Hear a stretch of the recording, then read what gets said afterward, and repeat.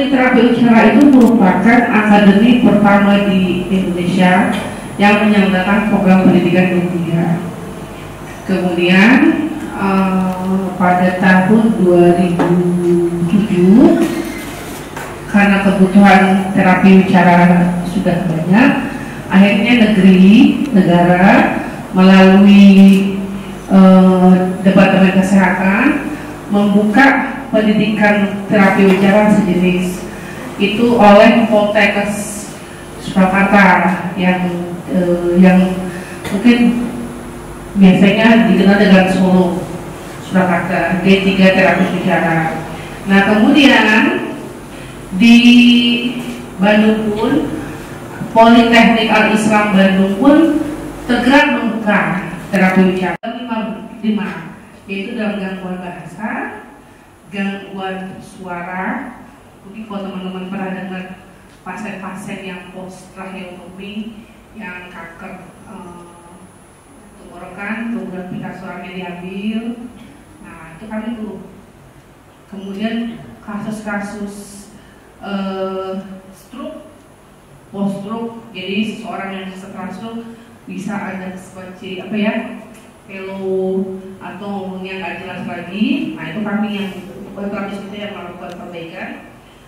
Kemudian gangguan irama kelancaran dua kami serta dan satu lagi adalah gangguan um, menelan. Nah irama kelancaran yang ter ter, eh, terkarakteristik jelas itu ada dua. Itu ada kegagapan dan kelatahan itu khas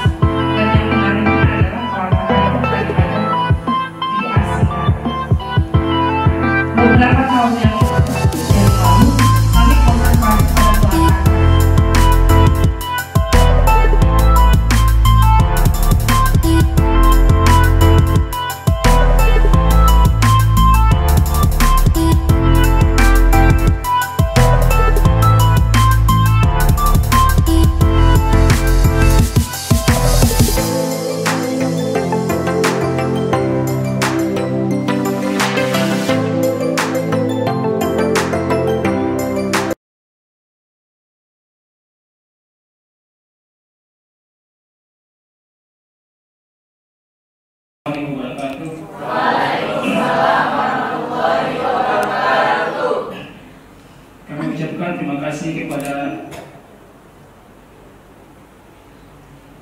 pihak kampus Akademi Terapi Bicara, terutama Ibu Direktur Akademi Terapi Bicara.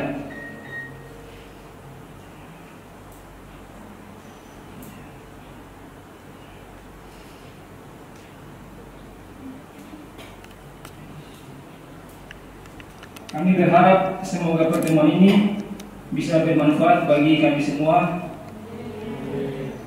Harapan kami ke depan bisa terlaksana dengan lancar dan bisa diterapkan di berbagai wilayah. Saya kira itu dari kami. Assalamualaikum warahmatullahi wabarakatuh. Nanti dulu. Oke. Nah, apa sih kita apa kita itu apa gitu ya? Jadi sini um, teman-teman bisa bisa semuanya. Eh. Teman-teman bisa baca. Nah, ini kan adalah komunitas yang berdiri untuk memberi dukungan kepada lembaga khususnya di Indonesia. Mungkin ada lembaga di Indonesia masih belum mengetahui dan jelas apa itu penyakit gagap dan bagaimana cara untuk menguranginya. Selain itu orang orang bukan penderita gagap yang meninggal dan hidup berdampingan dengan penderita gagap pun belum mengetahui bagaimana cara mereka untuk menyikapi para penderita. Kemudian eh, sehingga dibutuhkan sosialisasi yang sangat sangat intens untuk menyam, untuk, menyamakan persepsi antara penderita dan orang bukan bukan orang yang gagal.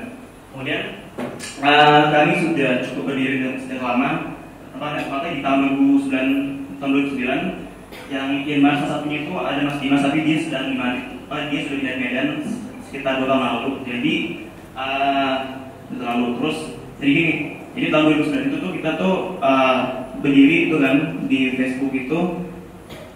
Awal awal awal, awal, awal mulanya di Facebook. Kemudian di tuh ini apa namanya belum terlalu berkembang dengan dengan bagus kan ya. Sampai akhirnya berjalan lima tahun sampai akhirnya eh lima tahun lebih lah ya.